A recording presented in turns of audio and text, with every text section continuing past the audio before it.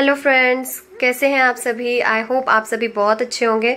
तो फ्रेंड्स आज मैं कुछ प्लांट्स की कटिंग लगाने वाली हूँ, जिसके लिए मैंने कुछ मिट्टी भी रेडी की है। तो एक हैंगिंग प्लांटर मैं रेडी कर रही हूँ, उसके लिए मैंने मिट्टी तैयार की है। तो सोचा आपके साथ ये वीडियो शेयर करूँ कि हैंगिंग प्लांटर में आपको मिट्टी कैसी बनानी है। हैंगिंग प्लांट अगर लगाने हैं हैंगिंग बास्केट रेडी करनी है तो उसकी मिट्टी कैसी होनी चाहिए? इस वीडियो में मैं आपको पूरा बताऊँगी कि मिट्टी किस तरीके से आपको रेडी करनी है क्या क्या उसमें मिक्स करना है, क्या नहीं लेना है। पूरी जानकारी दूँगी तो वीडियो पूरा देखिएगा बिना स्किप किए। और मेरे चैनल पर अगर आप नए हैं तो इसे सब्सक्राइब भी कर लीजिएगा बेल आइकन और पे प्रेस कर लीजिएगा। तो फ्रेंड्स जैसा कि आप देख रहे हैं, ये है जेड प्लांट और जेड प्लांट काफ़ी बुशी हो चुका है। अब मुझे इसे कोई एक शेप देना है तो आप मुझे ज़रूर कमेंट बॉक्स में कमेंट करके बताइएगा कि इस जेड प्लांट को मैं कौन सा शेप दूँ जो इजीली ये शेप ले सके और मुझे कोई ब्रांच को तोड़ना भी ना पड़े। तो ज़रूर बताइएगा कमेंट करके। यहाँ देखिए मैं कुछ सामान लेकर के रेडी हुई हूँ। यहाँ पर हैंगिंग बास्केट है और एक ये मेरा छोटा सा ट्रे गार्डन जो कि मैं रेडी करने वाली हूँ। इसको थोड़ा डेकोरेट करना है तो फिर आपके साथ ज़रूर शेयर करूँगी।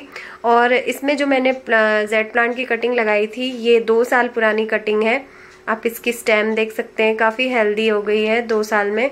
और इसकी मैंने कटिंग कर दी क्योंकि मुझे इसे बॉन्जाई ही रखना है, इसको मुझे ज़्यादा बड़ा या फैलाया हुआ नहीं रखना है, मुझे इसे कोई शेप नहीं देना है, बस एक ट्री जैसा रखना है कि एक ट्री है जो कि ट्रे में लगा हुआ है। और पिंचिंग मैं इसकी करती रहती हूँ ताकि ये अंदर ही अंदर बुशी होता रहे, नीचे ही नीचे। इसी ट्रे में मैंने ये एक और कटिंग्स दो तीन कटिंग्स लगाई थी, एक और उसमें लगी हुई है और एक ये जो मैंने निकाल ली है, क्योंकि ये सही जगह लगी हुई नहीं थी। तो यहाँ पर मेरे पास दो मिट्टी के जो पुराने करवे होते हैं ना, उनको कलर किया हुआ था, बहुत पुराने हैं, अभी तो इनको फिर से कलर करना पड़ेगा। थोड़े कलर अच्छे नहीं हो रहे हैं उनके बट मेरे पास अभी फ़िलहाल यही अवेलेबल थे तो मैंने सोचा इसी में लगा देती हूँ। और एक ये हैंगिंग बास्केट है, इसमें मैं जेड प्लांट की कटिंग लगाऊँगी। तो हैंगिंग बास्केट की मिट्टी बनाने के लिए यहाँ पर मैंने ये देखिए इसमें तगारी में सारा सामान लिया है। एक हिस्सा कोकोपीट लिया है और एक हिस्सा मैंने मिट्टी का लिया है गार्डन सॉइल और इसी का आधा हिस्सा, जितना हमने कोकोपीट और गार्डन सॉइल लिया है, इसका आधा हिस्सा मैंने कंस्ट्रक्शन सैंड ली है। और उसी के बराबर मैंने गोबर का खाद लिया है, जिसमें ट्राइकोडर्मा मिक्स किया है। तो जिसे मैं अभी ये देखिए, कोकोपीट है, ये मिट्टी है और यहाँ पर ये देखिए, मैंने कंपोस्ट ली है जिसमें मैंने ट्राइकोडर्मा मिक्स किया ताकि फंगस से प्लांट को कोई नुकसान ना हो और ये कंस्ट्रक्शन सैंड है।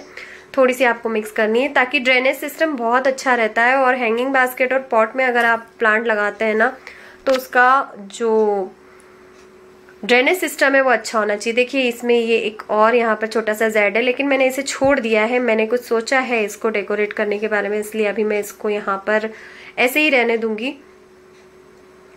और अब हम सबसे पहले जो हैंगिंग बास्केट है, उसके जो होल्स हैं, उनको कवर करेंगे। वैसे तो अगर आप हैंगिंग बास्केट के कवर होल को कवर ना भी करें ना तो भी चलेगा, क्योंकि हैंगिंग बास्केट क्या होती है ना कि बहुत सी ऐसी आती हैं जिनमें होल्स बहुत छोटे छोटे होते हैं।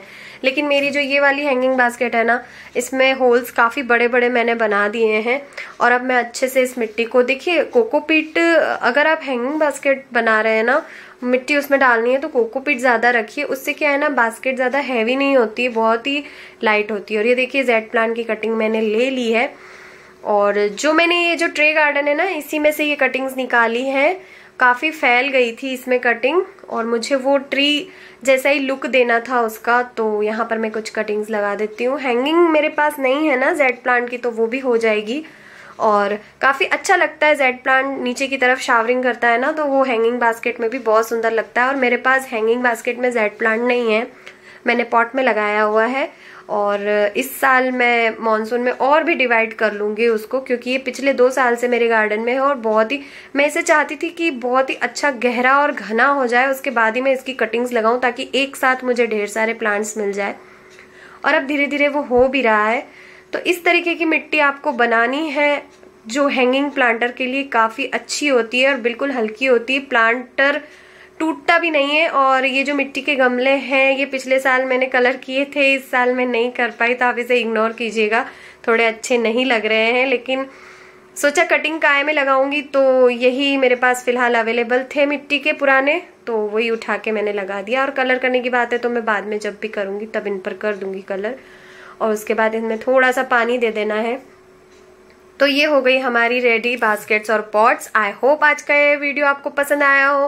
वीडियो पसंद आया तो वीडियो को लाइक कीजिए शेयर कीजिए, मेरे चैनल बनाए तो सब्सक्राइब ज़रूर कीजिए बेल आइकन और पर प्रेस कीजिए ताकि आगे आने वाली वीडियो की नोटिफिकेशन आप तक डायरेक्टली पहुँचती रहे। मिलते हैं नेक्स्ट वीडियो में फिर किसी नई जानकारी के साथ। तब तक के लिए बाय टेक केयर जय श्री कृष्णा फ्रेंड्स